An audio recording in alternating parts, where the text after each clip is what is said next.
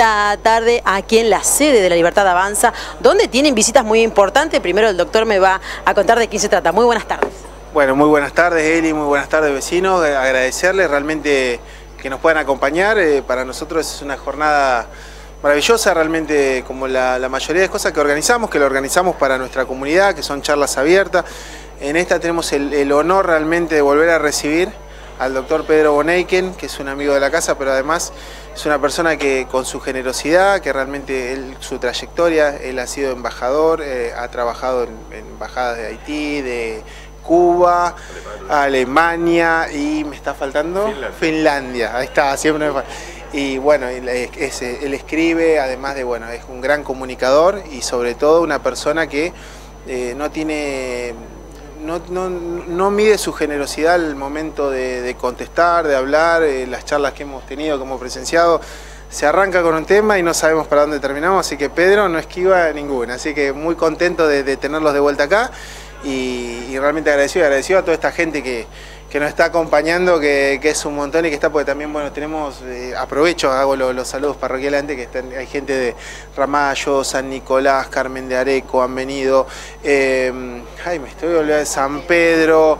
eh, Capitán Sarmiento, tengo que ir mirando, pero bueno, perdón si me olvidé de alguien, pero de, mucho, mucha sección. A Iguacel no lo veo. pero bueno, hay, hay de todos, este, de muchos lados, obviamente vecinos de Salto, y agradecer también a, todo el equipo local que realmente nos está dando una mano grande. Bueno, primero bienvenido, muchas gracias por hacerse un rato de su tiempo para hablar con nosotros también. Sabemos que están a minutos, ¿no es cierto?, de iniciar esta charla abierta a la comunidad.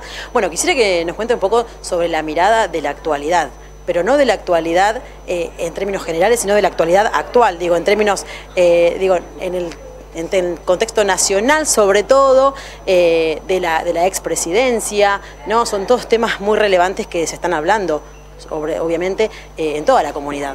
Yo de mí no puedo hablar mucho porque Iván Pérez Morelli ya dijo todo, me sacaste todos los argumentos.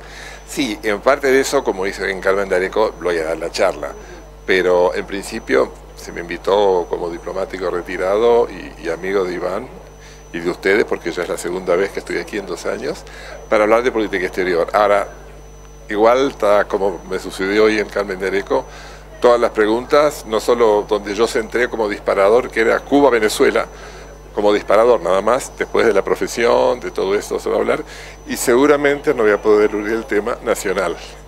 Como estoy jubilado puedo, si no estaría en el servicio exterior, pero como jubilado puedo. Lo que digo, lo digo por mí. Bueno, eh, vamos a empezar por la parte de economía, ¿no? Usted dice, bueno, Cuba, Venezuela y mucho aquí en, nuestro país se critica lo que es el capitalismo, por ejemplo. Eh, digo, ¿cómo ve la economía de nuestro país comparada con la de Cuba y Venezuela, actualmente hablando? No conozco Venezuela, pero he vivido tres años en Cuba, hemos vivido, hace 15 años no fuimos.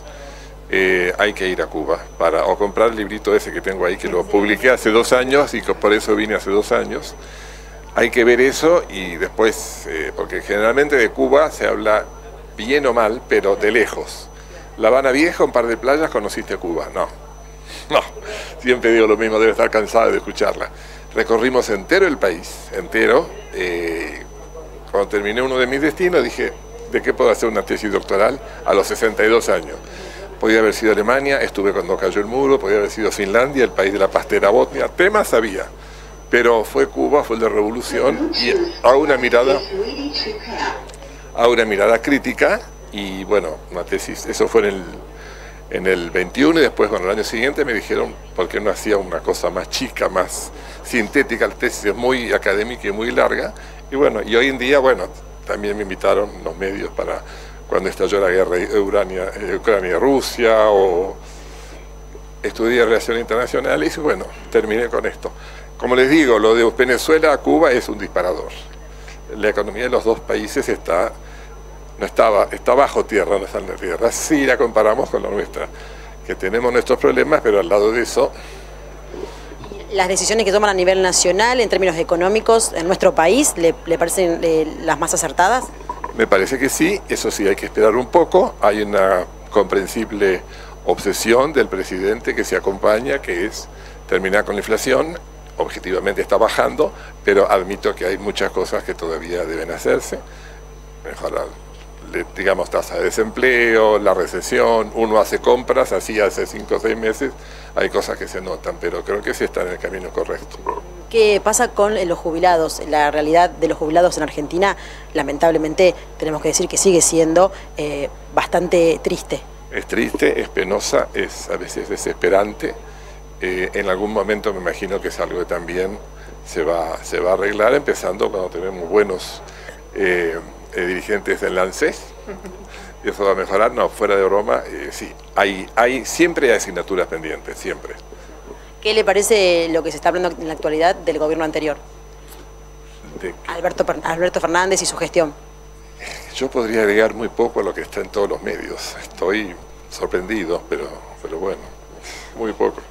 Eh, ¿De qué se va a hablar en esta, en esta tarde? ¿Sabe qué temas, por ejemplo, son los primeros que se van a tocar? El tema de disparador, como fue esta mañana, es un tema de política exterior o de relaciones exteriores latinoamericanas e internas también, que, fue, que es Cuba-Venezuela es la elección de Venezuela, pero está muy íntimamente relacionado con Cuba.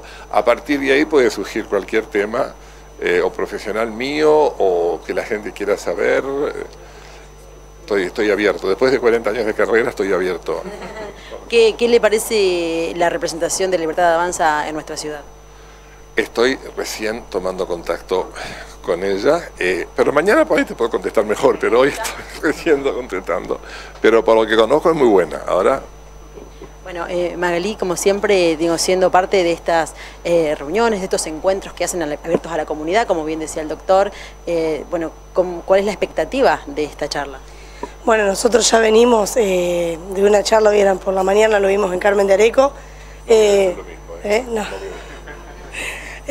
sorprendido, la verdad que es una persona diplomática que tiene mucho conocimiento, sabe mucho, siempre digo, eh, esta clase de personas hay que aprovecharlas, sacarle el jugo que más se pueda, porque son personas que, eh, más allá de, su experiencia, que vivido en distintos lugares, eh, saben mucho, entonces a veces este, está bueno que, nos pongamos en contexto un poco, por ahí va a hablar también, me imagino como hoy a la mañana, poner un poco en contexto de lo que está viviendo Venezuela y demás, así que está muy bueno, más allá, hoy justo le comentaba a los chicos, están marchando justamente en el día de hoy eh, en algunos puntos. Hay una marcha en el día de hoy en Venezuela.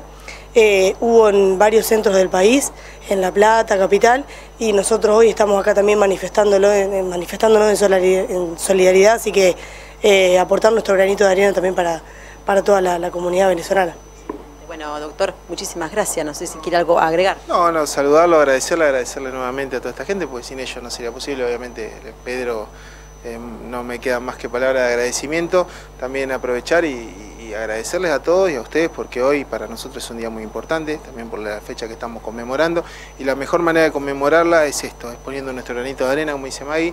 Nosotros ya seguimos una línea de lo que es la defensa de la idea de la libertad, pero además también de profesarlo eso día a día y generar todo este espacio de cambio, generar herramientas para nuestros ciudadanos, para nuestros vecinos, porque la manera de defender los derechos, la manera de defender la libertad es conociéndola primero si no después no hay, no, no, hay, manera de hacerlo. Entonces agradecerles y nada, que tengamos una hermosa jornada. Muchas gracias. Gracias a ustedes.